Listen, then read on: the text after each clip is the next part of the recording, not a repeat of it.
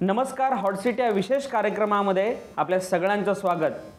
या विशेष कार्यक्रमामध्ये आपण प्रदेश पातळीवरील राज्यातील सर्वच नेत्यांची मतं आणि मनं जाणून घेण्याचा प्रयत्न करत आहोत आणि विधानसभा निवडणुकांच्या पार्श्वभूमीवर या नेत्यांची काय रणनीती असेल काय योजना आहेत हे सुद्धा त्यांच्याकडनं जाणून घेण्याचा आपण प्रयत्न करतोय. आणि आज आपले खास पाहुणे आहेत शेतकरी कामगार पक्षाचे राज्याचे सरचिटणीस आणि कोकणातील वरिष्ठ नेते भाई जयंत पाटील. जयंत पाटील साहेब स्वागत आहे आपलं साम टी व्हीमध्ये कधी काळी राज्यामध्ये शेतकरी कामगार पक्षाची खूप मोठी ताकद होती. अगदी मराठवाड्यामधून पण दोन तीन खासदार आठ ते दहा आमदार निवडून यायचे. मात्र आज शेतकरी कामगार पक्षाचं स्थान एक दोन जिल्ह्यांपुरतं मर्यादित राहिलेलं आहे. कसं बघता आपण? नाही ही गोष्ट खरी आहे. जी ताकद आमची होती ती कमी झाली. परंतु या देशामध्ये तुम्ही जो विचार केला तर सर्व पक्षांची ताकद आज कमी जास्त प्रमाणात झालेली आहे. आणि या ठिकाणी एक प्रभावी विरोधी पक्ष म्हणून आम्ही या ठिकाणी या महाराष्ट्रामध्ये नव्वद सालापर्यंत काम केलं.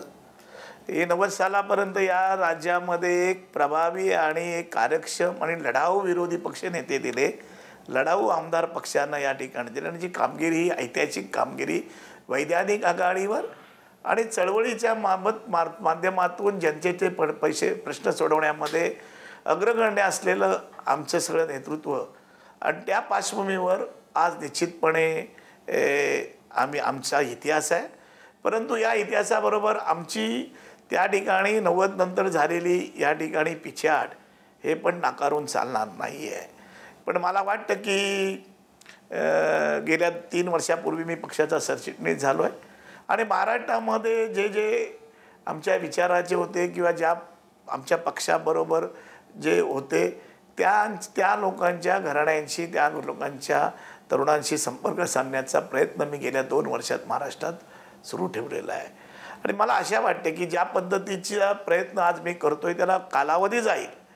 पण निश्चितपणे आम्ही एक वेगळं स्थान या महाराष्ट्रामध्ये पुन्हा निर्माण करू अशी मला खात्री वाटते. नक्कीच जयंत पाटील साहेब मी जो उल्लेख केला होता तो त्याच अनुषंगाने केला होता की शेकाप म्हणलं की सांगोल्यातून गेल्या पन्नास वर्षापासून निवडून येणारे गणपतराव देशमुख आणि रायगड जिल्हा. आणि रायगड जिल्हा म्हणलं की जयंत पाटील मीनाक्षीताई पाटील धैर्यशील पाटील आणि सगळं पाटील कुटुंबीय. याच्या पुढं शेतकरी कामगार पक्ष दिसत नाही राज्यात. तुम्ही म्हणता ती खरी गोष्ट आहे. या ठिकाणी मराठवाड्यामध्ये जी ताकद कमी झाली की त्या ठिकाणी नवीन तरुण नेतृत्वाला त्यावेळेला खऱ्या अर्थानं आम्ही संधी देऊ शकलो नाही. रायगडमध्ये का झालेली आहे? रायगडमध्ये आज चौथी पिढी काम करते आहे. माझे आजोबा रायगडमध्ये काम करत होते भाऊसाहेब राऊत करत होते मोठे मोठे नेते या ठिकाणी त्यावेळेला काम करत होते. पण सत्तावन्नमध्ये त्यांनी अठ्ठेचाळीस सालापासून सत्तावन्नमध्ये लगेच नवीन पिढी आणली. दत्ता पाटील आणले डी बी पाटील आणले सुमंत राऊत आणले वसंतराव राऊत आणले भाई शेटेनं आणले त्या ठिकाणी पारा सांपानं आणले एक नवीन पिढी आणली. आणि त्यानंतर या लोकांनी एक वीस पंचवीस वर्ष काम केलं. आणि नंतर नव्वद नंतर आम्ही मंडळी आलो. खरं मी अठ्ठ्याहत्तर सालीच पंचायत समितीचा सदस्य झालो. पण नव्वद नंतर आमची परत तिसरी पिढी आली. आणि आज आमची चौथी पिढी धैर्यशीलच्या रूपानं खरी काम करायला लागलेली आहे. आणि जिल्हा परिषद ग्रामपंचायत सर्व सरपंच हे आमचे नव्वद टक्के किंवा ही बँक आमची रायगड जिल्हा मध्यवर्ती बँक गेली पंचवीस वर्ष आज आमच्या ताब्यामध्ये आहे. ह्या बँकेमध्ये पण जर नव्वद टक्के तरुणांना आणि विशेषतः ज्यांना बँकिंग क्षेत्राशी पुढे आकर्षण आहे काम करण्याची विचार आहे असे ॲडव्होकेट इंजिनियर डॉक्टर अशा लोकांना आम्ही या ठिकाणी संधी दिलेली आहे. आणि हेच खरं रायगड जिल्ह्यातल्या संघटनेचं यश. यश यशाचं गमक आहे. त्याच अनुषंगाने माझा प्रश्न आहे की शेकाप रस्त्यावरच्या संघर्षाच्या लढाईत दिसणारा शेकाप परंतु त्याचबरोबर रायगडमध्ये तुम्ही सहकारामध्ये जिथं सहकार रुजला नाही कोकणामध्ये तिथं सहकाराच्या माध्यमातून पक्ष संघटनेच्या माध्यमातून काम केलं म्हणून शेतकरी कामगार पक्ष तळागाळापर्यंत पोहोचला इथे?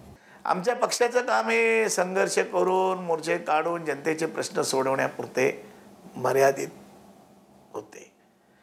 पण जनतेचे प्रश्न सोडवण्यामध्ये अग्रगण्य आणि जनतेच्या संपर्कात राहण्याचं काम गेली पाच साठ वर्ष आमच्या तीन पिढ्यांनी खऱ्या अर्थानं या ठिकाणी केलेलं आहे. परंतु ऐंशी साली मी जिल्हा चिटणीस झाल्यानंतर या जिल्ह्यातल्या सहकारातल्या प्रत्येक निवडणुका मी स्वीकेस सोसायटी असो पतसंस्था असो या लढवल्या. आणि त्या लढवताना माझे वडील प्रभाकर पाटलांच्या त्याच्यावर मला मार्गदर्शन होतं. आणि त्याच्यामध्ये मी पंच्याऐंशी सालापासून या बँकेची खरी पकड घ्यायला सुरुवात केली. आणि आज जवळजवळ नव्वद नाही पंच्याण्णव टक्के सहकारी संस्था ज्या शेतकऱ्यांच्या संबंधित आहेत मार्केट कमिटी असो तालुका संघ असो जिल्हा संघ असो हे सर्व आम्ही वाढवले कार्यक्षम बनवले. आणि आर्थिकदृष्ट्या सक्षम बनवलेले आहे आणि म्हणून त्याचा निश्चित संघटनेला आज फायदा झालेला आहे. आणि एक वेगळा एक वेगळे विक्रमसुद्धा आम्ही या सहकारात केले की ज्याचे कायद्यामध्ये रूपांतर करायला आम्ही लावलं. आमच्या कामकाजामध्ये सोसायट्यांचं एकत्रीकरण असो शेतकऱ्यांना कमी दराने कर्ज पुरवठा करणारी पहिला बँक पहिली बँक म्हणून आम्हाला मान मिळाला चार टक्के दराने. नंतर शून्य इंटरेस्टने कर्ज देणारी पहिली बँक म्हणून आम्हाला त्या ठिकाणी मान मिळाला आणि रायगड पॅटर्न म्हणून ऑल इंडियावर तो नेला गेला. नक्की सर आता मी स्पेसिफिक पॉलिटिकल प्रश्नांकडे येणार आहे. शिवसेना आणि शेकाप. गेल्या अनेक वर्षांचे राजकीय मैत्री मैत्री पाहायला मिळाले. शेकाप आणि शिवसेनेची युतीसुद्धा या जिल्ह्यामध्ये अनेक वर्ष होती. या लोकसभा निवडणुकीमध्ये असं काय कारण होतं की शेकापनं शिवसेनेची साथ सोडली आणि स्वतंत्र उमेदवार मावळ असेल रायगडमध्ये दिले? नाही, नाही एक एक एक सांगतो. अनेक वर्ष वगैरे कधीच आम्ही नव्हतो. दोन हजार चार साली पण जी निवडणूक झाली त्यावेळेला पण सेनेचा उमेदवार विवेक पाटलांच्या विरुद्ध होता श्याम सावंत. हे तुम्ही मॅम प्रसिद्धी माध्यमाच्या माध्यमातून हे सांगता. गेल्या वेळेला रायगडमध्ये अशी वैशिष्ट्यपूर्ण घटना घडली की या ठिकाणी महा ए सी झेड येत होता. मी अनेक वेळा हे तुम्हाला बोललेलं आहे. आणि त्यावेळेला ए सी जेड जाणं हे खऱ्या अर्थानं गरजेचं होतं आणि त्यामध्ये जवळजवळ अर्धा जिल्हा हा या ठिकाणी ॲक्वायर करण्याचं काम आणि रिलायन्सच्या कशात घालण्याचं काम राज्य शासन करत होतं. त्यावेळेला या जिल्ह्यामध्ये एक वेगळी शेतकऱ्यांची एक वेगळी जनआंदोलन आमचे राष्ट्रीय नेते डाव्या आघाडीचे सीताराम येचुरी यांच्या नेतृत्वाखाली आम्ही माझे मित्र कॉम्रेड ढवळे नंतर महेंद्र सिंग वगैरे ही मंडळी माझ्याकडे आली. आणि आपण एक विचार करून एक चांगलं संघटन करू असं त्यांनी सांगून एक पहिला मोर्चा आम्ही कोकण भवनवर या ठिकाणी येचुरींच्या नेतृत्वाखाली त्या ठिकाणी खऱ्या अर्थानं काढला. आणि ते आंदोलन जिल्ह्याभर आम्ही पसरवलं. विवेक पाटील आहेत धैर्यशील पाटील आहेत मीनाक्षी पाटील आहेत. आणि वेगवेगळ्या विचाराचे ज्या संघटना होत्या शेतकऱ्याच्या त्या आमच्याबरोबर आल्या. आणि ते आंदोलनामध्ये दुफळी होऊ नये हा प्रयत्न आम्ही प्रयत्न केला. त्याच्यात सेना पण होती काही काँग्रेसवाले पण होते. ते पण शेवटी धैर्यशील पाटलांबरोबर त्यांनी पण काम केल्या की पेला केलेलं आहे. आणि तो एक सूत्र धरून आम्ही मला वाटतं ए सी झेड आम्ही त्यावेळेला शंभर टक्के यश मिळवलं. आणि त्याचा परिणाम या ठिकाणी सरकारला घ्यावा लागला.